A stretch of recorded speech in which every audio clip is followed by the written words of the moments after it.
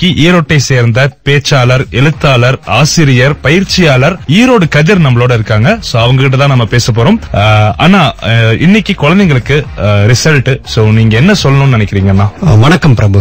சூரியன் பண்பலை நேயர்களுக்கும் என்னுடைய வணக்கத்தை முதற்கண் தெரிவித்துக் கொள்கின்றேன். இன்று பனிரெண்டாம் வகுப்பு தேர்வு முடிவுகளை எதிர்கொண்டு காத்திருக்கக்கூடிய அனைத்து மாணவ மாணவிகளுக்கும் என்னுடைய உற்சாகமான வாழ்த்துக்களை முதலில் பதிவு செய்ய விரும்புகின்றேன். இந்த பிள்ளைங்கள்ட்ட இது வரைக்கும் ஒரு கேள்வி கேட்போம். என்ன படிக்க போற? அப்படிங்கிற கேள்வியை கேட்கிறப்போ மார்க் வரட்டும் பார்க்கலாம் அப்படின்னு சொல்லியிருப்பாங்க. இனி தப்பிச்சுக்க முடியாது. இன்னைக்கு அந்த மதிப்பெண் கையில வந்துடும். இந்த மதிப்பெண் வாங்குவதற்காக தான் பனிரெண்டு ஆண்டுகள் அல்லது பதினான்கு ஆண்டுகள் ஒரு தொடர் ஓட்ட மாதிரி ஓடி வந்து இன்னைக்கு இந்த இடத்துல இருந்திருக்காங்க இந்த பனிரெண்டு ஆண்டுகள் பதினான்கு ஆண்டுகள் பள்ளி கல்வியில் இவர்கள் முதலீடு செய்த மொத்த உழைப்பிற்குமான பலனை இன்று அறுவடை செய்ய போகிறார்கள். அவர்களுக்கு வாழ்த்துக்களை பதிவு செய்யக்கூடிய இந்த நேரத்தில் அடுத்தது என்ன செய்ய வேண்டும் என்கின்ற முடிவை எடுத்துவிட்டீர்களா என்கின்ற கேள்வியை நான் இங்கு எழுப்ப விரும்புகின்றேன். மார்க் வரட்டும் பார்த்துக்கலாம் அப்படிங்கிற தப்பித்தலில் இனியும் தொடர்ந்து இருக்க முடியாது என்கின்ற காரணத்தால் ஏற்கனவே முடிவெடுத்திருக்கக்கூடிய பிள்ளைகளுக்கு என்னுடைய இரண்டு மடங்கு வாழ்த்துக்களை பதிவு செய்வதோடு ஏற்கனவே முடிவெடுக்காத பிள்ளைகளுக்கு ஒரு அறிவுறுத்தலாக சொல்ல விரும்புவது உடனடியாக முடிவெடுங்கள். எந்த கல்வி உங்களுடைய வாழ்க்கையை தீர்மானிக்கப் போகிறது? எந்த பிரிவு எந்த வகையான கல்வி தீர்மானிக்கப் போகிறது என்பதை உடனடியாக தீர்மானிக்க வேண்டும். வாழ்க்கை குறித்த ஒரு வரைபடத்தை நாம் உருவாக்கிக் கொள்ள வேண்டும். அந்த வரைபடத்திற்கு எந்த கல்வி நம்மை இட்டு செல்லும் என்பதற்கு தோதான ஒரு பிரிவை கல்லூரியை அது என்ன மாதிரியான பாடம் எடுக்கிறது அப்படிங்கிறப்போ எது உங்களுடைய இயல்புக்கு ஒத்து வருமோ எது உண்மையாகவே உங்களை உயிர்ப்போடு வைத்திருக்குமோ எது உங்களுக்கு மிகுந்த ஆர்வத்தை தருமோ அந்த படிப்பை தேர்ந்தெடுங்கள். அதுதான் இப்ப முதல்ல உங்களுக்கு சொல்லக்கூடிய விஷயம். அண்ணா இப்போ பாஸ் ஆன குழந்தைங்களுக்கு அடுத்து என்ன அப்படின்ற விஷயங்கள் எப்படி பார்க்கணும்னா? தேர்ச்சி அடைந்தவர்கள் அனைவரும் செய்ய வேண்டியது அடுத்தது என்ன படிக்க போகிறோம் என்பதில் தேர்ந்தெடுப்பதுதான். அடுத்தது என்ன படிக்க போறோம்? கல்லூரி படிப்பா? அல்லது பாலிடெக்னிக் மாதிரியான பிரிவுகள்? அல்லது வேற ஏதாவது தொழில் சார்ந்த கல்விகளா? அப்படிங்கிற நிறைய குழப்பங்கள் அவங்களுக்கு வரும். அந்த முடிவெடுக்கிறதுக்கு முன்னால எதை சார்ந்து அந்த முடிவெடுக்கிறோம் அப்படிங்கிறதுக்கு அவங்க அதை தீர்மானிக்கணும். முழுக்க முழுக்க அது பெற்றோர்களுடைய விருப்பமா? அல்லது முழுக்க முழுக்க பிள்ளைகளுடைய விருப்பமா? இங்க எதுவுமே முழுக்க முழுக்க ஒருத்தருடைய விருப்பமா மட்டும் இருக்கணுங்கிற அவசியம் கிடையாது.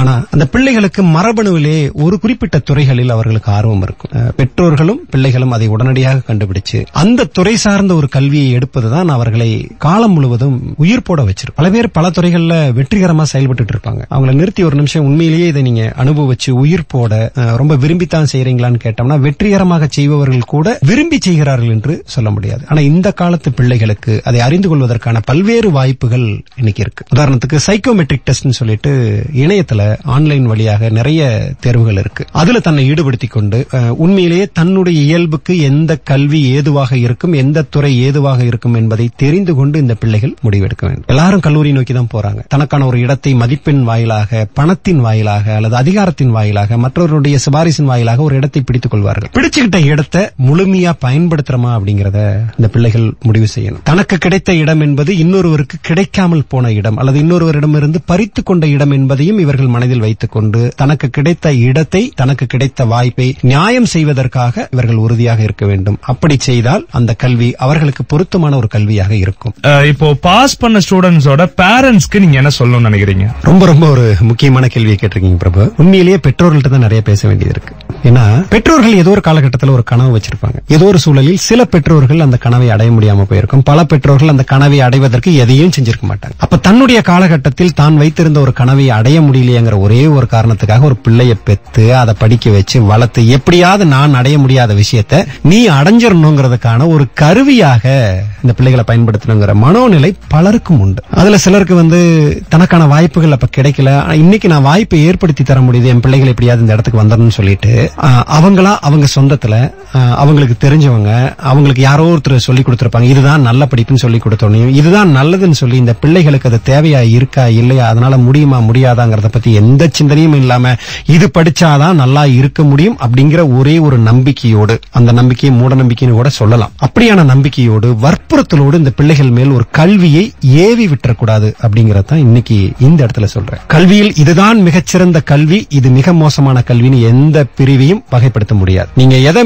மிக மோசமான ஒரு இதுக்கு வாய்ப்பே இல்லை அப்படின்னு ஒரு படிப்பு சொல்றீங்களோ அந்த படிப்பில் சாதித்தவர்களை என்னால் அடையாளம் காட்ட முடியும். இந்த படிப்பு படிச்சாதான் ரொம்ப நல்லா வருவாங்க அப்படின்னு சொல்லக்கூடிய இருக்கக்கூடிய படிப்பில் தோல்வி அடைந்தவர்களை அதில் தொடர முடியாதவர்களையும் நம்ம காட்ட முடியும். ஆக பெற்றோர்கள் செய்ய வேண்டியது என்னோட கனவை இந்த பிள்ளைகள் சுமக்கணுங்கிற எண்ணத்தை விட்டுட்டு இந்த பிள்ளைகளுடைய இயல்புக்கு எந்த கல்வி சரியா இருக்குங்கிறத தெரிஞ்சு தேடி அலசி அந்த பிள்ளைங்க கையில கொடுத்து கூட நான் நிக்கிறேன். நீ நல்லபடியா படிச்சு மேலவா எல்லா இடத்துலயும் உறுதுணையா நிக்கிறேன். அப்படிங்கிற உறுதியை கொடுக்கறது தான் இந்த நேரத்தினுடைய தேவையாக நான் பாக்குறேன் இப்ப வந்து பாஸ் அப்படிங்கறத தாண்டி நிறைய பேருக்கு பாத்தீங்கன்னா நான் எதிர்பார்த்த மார்க் வரலையே அப்படின்னு சொல்லிட்டு நிறைய பேர் ஃபீல் பண்ணுவாங்க. சோ அவங்க இந்த சூழ்நிலையை வந்து எப்படி எதிர்கொள்ளணும்னா? நான் எதிர்பார்த்த மதிப்பெண் வரலையே அப்படிங்கிற குறை பலருக்கும் உண்டு. உண்மையிலேயே அந்த எதிர்பார்ப்பு நியாயமானதா அப்படிங்கறத பார்க்கணும். அந்த எதிர்பார்ப்புக்கு நிகரான உழைப்பை அவங்க போட்டிருக்காங்களாங்கிறதையும் பார்க்கணும். ஒருவேளை குறைவான மதிப்பெண்கள் வந்திருந்தால் அதில் சிலருக்கு ஏதாவது ஒரு சூழலின் நிமித்தம் அல்லது மதிப்பெண் அந்த மதிப்பெண் போட்டவங்களோ அல்லது ஏதாவது ஒரு காரணத்தினாலேயோ குறைவா போயிருக்கலாம். குறைவான மதிப்பெண் எடுத்த பெரும்பான்மையானருக்கு உண்மையான காரணம் என்ன? அவங்க அவ்வளவுதான் உழைப்பை போட்டிருப்பாங்க. இந்த பிள்ளைகள் ஒப்புக்கொள்ள வேண்டியது நான் இவ்வளவுதான் உழைப்பு போட்டிருக்கேன். அந்த உழைப்புக்கான மதிப்பெண்கள் தான் வந்திருக்கு அப்படிங்கிற ஒரு கசப்பான உண்மையை அவங்க ஏத்துக்கணும். அப்படி ஏத்துக்கிட்ட பிறகு அவங்க செய்ய வேண்டியது அந்த குறைவான மதிப்பெண்ணை வச்சுக்கிட்டு அதிகமான மதிப்பெண் வாங்கினா கிடைக்கக்கூடிய இடத்துக்கு போய் போராடக்கூடாது. பணத்தை கொடுத்து ஒரு இடத்தை பிடிச்சிடலாம் இந்த டிகிரி நம்ம எடுத்துருவோம் எப்படியாவது சிபாரிசின் மூலமா போயிடணும் அப்படியெல்லாம் போக வேண்டாம். அந்த மதிப்பெண் பன்னிரெண்டு வருஷம் பள்ளிக்கூடத்தை முடிச்சுட்டு வந்திருக்கோம். பன்னிரெண்டாம் வகுப்புங்கிறது மிக முக்கியமான ஒரு கட்டம். இந்த கட்டத்துல நம்ம இவ்வளவுதான் மதிப்பெண் வாங்கியிருக்க முடியுது அப்படிங்கிறப்போ இதுக்கு தகுந்த ஒரு பட்டப்படிப்பை அதுக்கான ஒரு பிரிவை அதற்கான கல்லூரியில எடுத்துக்கணுங்கிற உண்மையும் அவர்கள் ஒப்புக்கொள்ள வேண்டும். இது மட்டுமே அளவுகோல் கிடையாது. ஒரு மனிதனுடைய ஒட்டுமொத்த வாழ்க்கையை தீர்மானிக்கக்கூடிய அளவுகோல்ங்கிறது பனிரெண்டாம் வகுப்பு மட்டுமே கிடையாது அப்படிங்கிறப்போ அது குறைவாக வந்திருந்தாலும் கூட அதற்கு பொருத்தமான ஏதுவான தனக்கு பொருந்தக்கூடிய ஒரு கல்வியை ஒரு பிரிவை எடுத்துக்கிட்டு அதன் மூலமாக கல்லூரியில தன்னை எப்படி செதுக்கி மேம்படுத்தலாம் அப்படிங்கறத மட்டும்தான் அந்த இடத்துல யோசிக்கணுமே தவிர மிக குறைவான மதிப்பெண்ணை வச்சுக்கிட்டு வேற ஒரு இடத்துல போய் போராடுறதோ அல்லது மிக குறைவான மதிப்பெண் வாங்கிட்டேன்னு சோர்ந்து போறதோ தேவையில்லை. ஏன்னா இது உண்மை. மிக குறைவான மதிப்பெண் வாங்கியிருக்காங்கிறது அவங்களுடைய உழைப்பிற்கு அவங்களுடைய திறமைக்கான ஒரு உண்மையாக கூட நம்ம அளவுகோலா எடுத்துக்க முடியுங்கிறனால இந்த உண்மையை ஏற்றுக்கொண்டு அதற்கேற்ப அவங்க செயல்படணுங்கிறதா இந்த நேரத்தில் நான் அவங்களுக்கு சொல்ல விரும்புறேன். இப்ப வந்து ரிசல்ட்ஸ் அப்படின்னு வரும்பொழுது பாஸ் அண்ட் எதிர்பார்த்த மார்க் வரல அப்படிங்கறதெல்லாம் தாண்டி என்னால இதுல தேர்ச்சி பெற முடியலையே நான் ஃபெயில் ஆயிட்டேன் அப்படின்ற ஸ்டூடெண்ட்ஸ் சில பேர் இருப்பாங்க. சோ அவங்களுக்கு என்ன சொல்ல விரும்புறீங்கன்னா? ஒருவேளை மாணவ மாணவிகள் இந்த தேர்வு முடிவில் தோல்விகளை சந்தித்தால் அவர்களுக்கு சொல்ல வேண்டியது உறுதியாக நில்லுங்கள். இந்த ஒரு தோல்வி மட்டுமே ஒட்டுமொத்த வாழ்க்கையை முடக்கி போட்டுறாது வாழ்க்கையில தோற்கவே தோற்காமல் தொடர்ந்து வெற்றியை ஈட்டிய மனிதர்கள்ங்கிறது யாரும் கிடையவே கிடையாது. உண்மையிலேயே அவர்கள் உழைப்பை போட்டிருக்கலாம். அந்த உழைப்புக்கு பிறகும் கூட ஏதாவது ஒரு காரணத்தால் அவர்கள் எதிர்பார்த்த மதிப்பெண் அந்த தேர்ச்சிக்கான மதிப்பெண் கிடைக்கல அப்படின்னு சொன்னா முதலில் அவர்கள் முடிவு செய்ய வேண்டியது இந்த தோல்வி தற்காலிகமானது. இதிலிருந்து கடந்து வர முடியும். இன்னைக்கு பள்ளிக்கல்வித்துறை உடனடியாக ஒரு வாய்ப்பு கொடுக்குது. முன்பெல்லாம் அப்படி கிடையாது. ஒரு தடவை தோல்வி அடைஞ்சிட்டா அடுத்த வருஷம் தான் தேர்வு எழுதி வர முடியும். இப்போ அடுத்த சில வாரங்களிலேயே அறிவிப்பு கொடுத்து அடுத்த மாதத்திலேயே மீண்டும் அந்த தேர்வு எழுதுறதுக்கான ஒரு வாய்ப்பு கொடுத்திருக்காங்க. அப்படி அப்படி தோல்வி அடைஞ்ச பாடங்கள்ல மட்டும் மீண்டும் தேர்ச்சி அடைந்து தேர்வு எழுதி தேர்ச்சி அடைந்து தனக்கான இடத்தை பிடிக்கக்கூடிய வாய்ப்பு உடனடியாக இந்த பிள்ளைகளுக்கு கிடைக்குது. தோல்வி அடையக்கூடியவர்களுக்கு ஒரு அந்த மனநிலையில கொஞ்சம் குழப்பம் வரும்.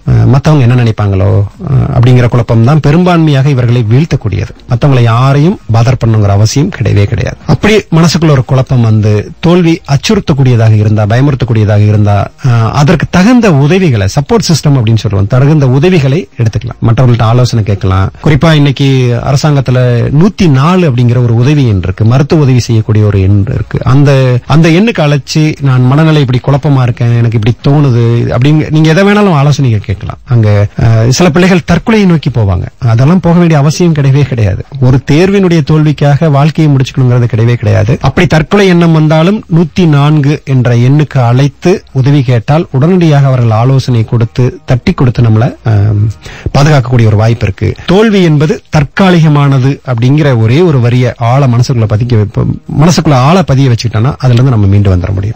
எக்ஸாம்ஸ்ல நான் ஃபெயில் ஆயிட்டேன் அப்படின்ற ஸ்டூடெண்ட்ஸ்க்குலாம் வந்து நம்ம சில விஷயங்கள் சொல்லிட்டு இருந்தோம். அவங்க இன்னும் எப்படி அவங்கள வந்து இன்னும் கண்ட்ரோல்ல வச்சுக்கணும்னா இன்னும் என்னெல்லாம் அவங்க வந்து பண்ணணும்னா?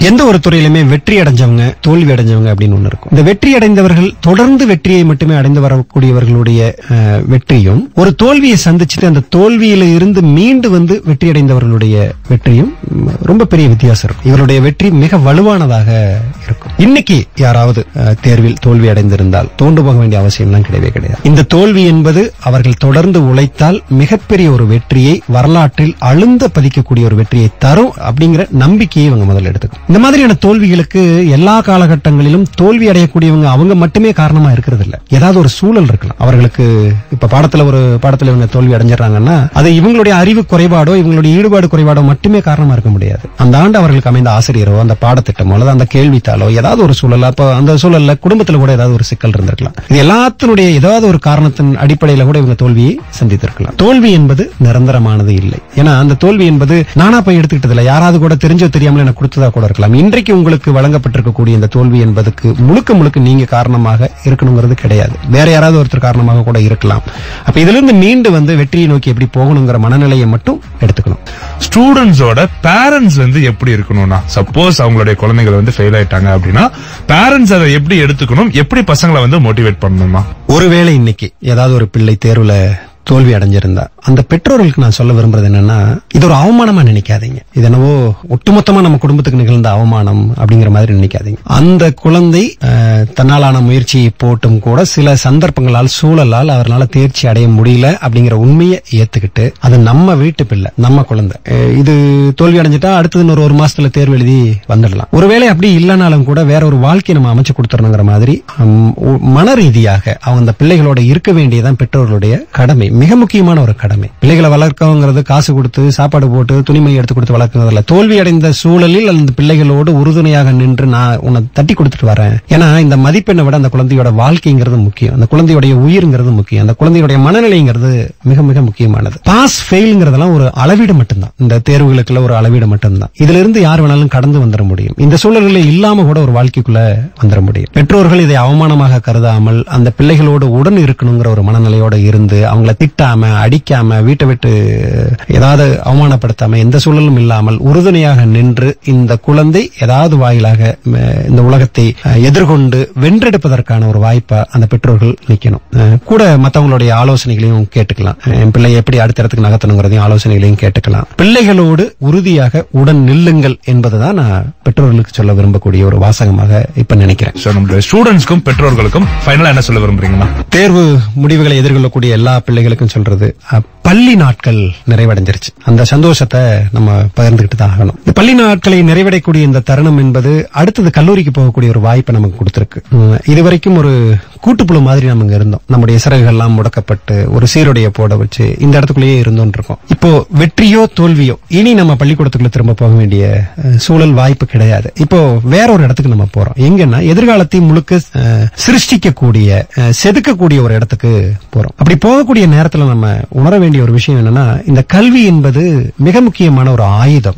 எதிர்காலத்தில் நம்ம நிகழ்த்தக்கூடிய எல்லா நல்ல விஷயங்களுக்கும் எல்லா போராட்டங்களுக்கும் மிக முக்கியமான ஒரு ஆயுதமா இருக்கும் அப்படிங்கிற மனநிலையோடு இதுல நம்மால முடிஞ்ச ஒரு 12 ஆண்டு காலம் பதினான்கு ஆண்டு காலம் உழைப்ப போட்டு ஒவ்வொரு படிநிலைகளாக கடந்து இந்த பள்ளிக்கூடம் அப்படிங்கறத நிறைவு செஞ்சுட்டு வேற ஒரு எதிர்காலத்துக்குள்ள போறோம். இந்த இடத்துல வெற்றியும் வரலாம் தோல்வியும் வரலாம். இந்த வெற்றி அப்படிங்கறத எந்த அளவுக்கு நம்ம கொண்டாடுறோமோ அதே அளவுக்கு நிகராக ஒருவேளை தோல்வியை சந்- சந்தித்தால் அதை எதிர்கொள்ளக்கூடிய மன வலிமையை நம்ம தக்க வச்சுக்கணும். தோல்வி என்பது நிரந்தரமானது கிடையாது. மீண்டும் மீண்டும் வலியுறுத்துவது தோல்வி என்பது நிரந்தரமானது கிடையாது. மிக மிக தற்காலிகமானது. தோல்வியை சந்தித்தவர்கள் பல பேர் மீண்டும் நல்ல ஒரு வெற்றியை அடைஞ்சு சாதிச்சிருக்காங்க. பள்ளிக்கூட வாழ்க்கையை முடிச்சிட்டு பட்டாம்பூச்சி போல பறக்க போறோம் அப்படிங்கிற ஒரு நல்ல மனநிலையை ரொம்ப தெம்பான பெருமையான மனநிலையை இந்த இடத்துல எடுத்துக்கோங்க. வெற்றியை எந்த அளவுக்கு கொண்டாடுறீங்களோ அதற்கு நிகராக தோல்வியையும் ஏற்றுக்கொண்டு அதை தலவரடி கொடுத்து நான் உன்னை கடந்து வந்துருவேன் அப்படிங்கிற மனநிலையோடு அதையும் தட்டி கொடுத்து வரணும் அப்படிங்கிற மனநிலையை இந்த இடத்துல உறுதியை மேற்கொள்ளுங்கள். மீண்டும் அனைத்து பிள்ளைகளுக்கும் என்னுடைய மனம் திறந்த வாழ்த்துக்களை பதிவு செய்து கொண்டு விடைபெறுகின்றேன். நன்றி வணக்கம்.